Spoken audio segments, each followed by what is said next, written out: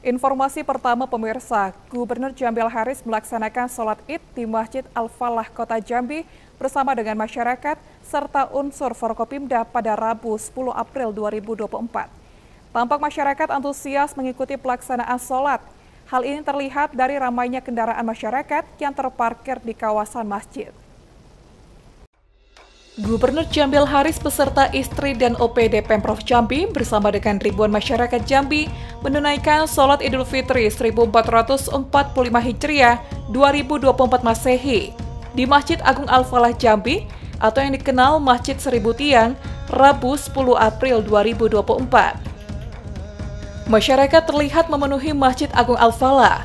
Bahkan halaman masjid juga penuh dengan masyarakat yang dengan antusias menunaikan sholat Idul Fitri. Dalam sambutan singkatnya, Gubernur Jamil Haris menyampaikan pesan kepada masyarakat Provinsi Jambi bahwa momentum Idul Fitri ini sebagai momen untuk mengembalikan diri kepada fitrah yang suci dan saling memaafkan. Al Haris menambahkan, suasana tenang Ramadan yang kusyuk, terutama dalam hal beribadah, dapat selalu dipertahankan hingga kapan pun oleh segenap masyarakat Provinsi Jambi.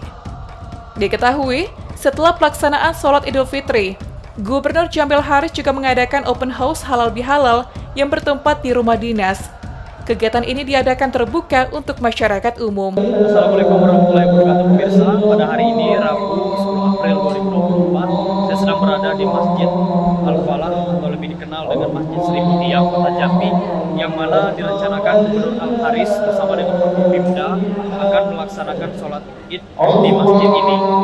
Pada pagi ini tampak juga antusias masyarakat yang mengikuti sholat id ini ramai, terpantau ramai, namun tidak terjadi kemacetan di kawasan Masjid Al ini karena masyarakat yang hadir didominasi oleh pengguna kendaraan roda dua, namun juga sebagian menggunakan roda empat.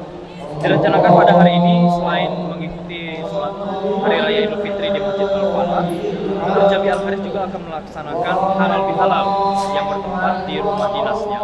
Alhamdulillah pada pagi hari ini kita telah melaksanakan sholat Idul Fitri bersama-sama di Masjid Agung Al-Falah Jambi dan tentunya semua kaum muslimin merayakan Idul Fitri pada pagi hari ini.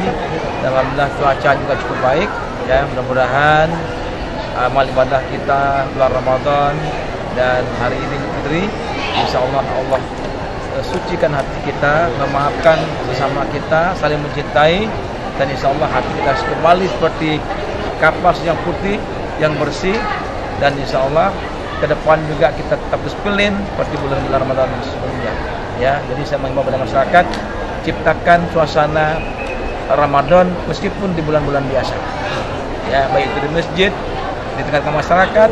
Nah, kenapa? Karena kalau kita seperti terus seperti Ramadan, insya Allah, ya hidup kita berkah, berkah, istiqomah, dan insya Allah seluruh khotimah, insya Allah. Amin. Amin. Ya, aja. Demikian hasil rekrutasi saya, Halim Adrian. Halim Adrian, Cek TV, melaporkan.